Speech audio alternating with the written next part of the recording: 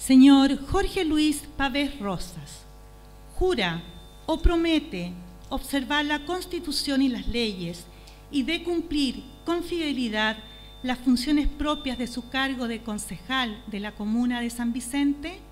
Sí, juro. Eh, primero, bastante emocionado.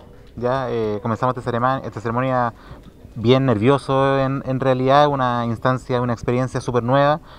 Por lo tanto, eh, lo primero que se me viene a la cabeza son todos los recuerdos de, la hermosa campaña que pudimos realizar y obviamente el agradecimiento a toda la gente que decidió apoyarnos.